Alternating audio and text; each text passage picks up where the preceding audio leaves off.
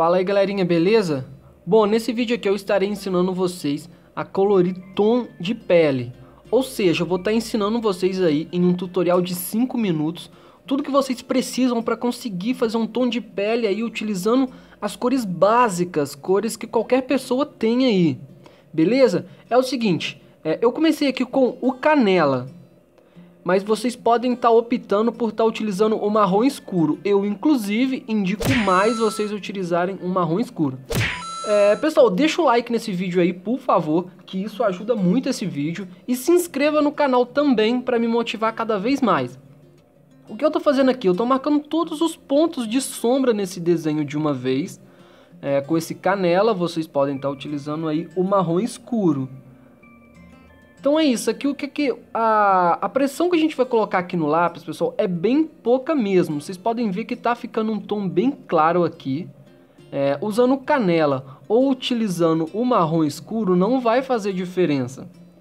É, então eu indico até mais o marrom escuro, que vai ficar um tom mais legal de pele. É porque o meu acabou e eu estou fazendo com esse, com esse lápis aqui. Olha, depois da gente marcar todos esses pontos que a gente marcou, aí a gente vai vir com um laranja claro e a gente vai passar sobre toda essa camada que a gente fez aí, essa primeira camada com, é, com marrom escuro. Então a gente vai passar esse aí, lembrando que é bem de leve, pessoal, a gente não deve colocar muita pressão no lápis agora. Então a gente vai aí repetir esse processo em todas essas sombras aí que a gente fez utilizando esse laranja claro. É, não tem segredo algum é, quando tá fazendo esse tom de pele, vocês vão ver que vai ficar um resultado muito legal. Eu espero que ajudem vocês aí também. Agora o que eu fiz? Eu peguei aqui o rosa claro da Faber, né? É, a câmera tá tremendo um pouquinho aqui, mas eu acho que tá dando para pegar legal aí o que eu tô querendo passar.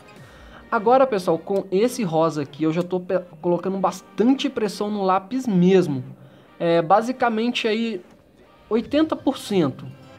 Não vamos simplesmente pegar o desenho lá e, e passar o lápis com tanta força. Assim você vai acabar até estragando dependendo do seu papel. Mas aqui a gente geralmente já coloca mais força sim. O que eu estou fazendo aqui? Eu estou repassando em todas essas sombras que a gente fez. Vocês podem já dar uma olhada que já dá uma diferença muito grande aqui quando eu já passo esse rosa sobre essa camada. Então esse é o meu minha forma de desenhar é pelo mais escuro até o mais claro. Por isso eu faço as sombras primeiro. É, agora o que eu estou fazendo com esse mesmo rosa, eu vou passar uma camada aí sobre toda a pele dele. Eu vou estar tá deixando aí é, algumas partes sem colorir, que é um efeito de brilho que a gente vai dar no desenho. Então olha para vocês verem, a gente vai preencher todo o restante da pele dele com esse lápis rosa claro aí. Se alguém tiver o areia é, pode estar tá utilizando também, mas o meu foco aqui é mostrar vocês com essas cores básicas, com as cores comuns aí, sem nenhuma cor exorbitante aí, né? Com, por exemplo, usar bordô, usar salmão. Eu acho que para fazer um tom de pele a gente não precisa de nenhum desses lápis, a gente só vai precisar desses daqui que eu estou te mostrando nos vídeos. Apenas três lápis aí que eu estou utilizando até agora, ó, marrom, rosa claro e o laranja. E vamos deixando aí essas partes brancas. Você pode ver que aqui na bochecha dele eu deixei, ó. Embaixo do pescoço dele eu vou deixar também. No peitoral também eu estarei deixando aí, né?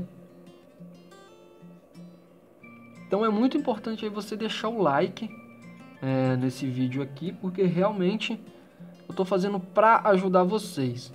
Bom, igual eu falei pra vocês, olha aqui, ó, no peitoral eu já tô deixando aqui a parte de cima é um pouco branca. E olha o que eu tô fazendo aqui agora. Eu estou utilizando a, a cor branca para passar sobre essa parte do rosa claro que eu passei. Se vocês não tiver o branco, ele não é essencial. É claro que ele vai deixar a pele um pouco mais homogênea. Mas o que vocês podem estar tá fazendo aqui para substituir esse branco? Vocês podem estar tá pegando aí é, um algodão, um cotonete ou até mesmo um pedaço de papel higiênico e passar aqui onde eu estou passando esse branco. Vai fazer o mesmo efeito, que é mesclar melhor a cor no papel. Então não tem segredo nenhum, pessoal. É, o vídeo é basicamente isso. Olha para vocês verem, em 5 minutos eu passei tudo que vocês precisam aí para estar tá aprendendo a desenhar tom de pele bem bacana aí. Beleza? Então deixa o like e até o próximo vídeo. Falou, pessoal!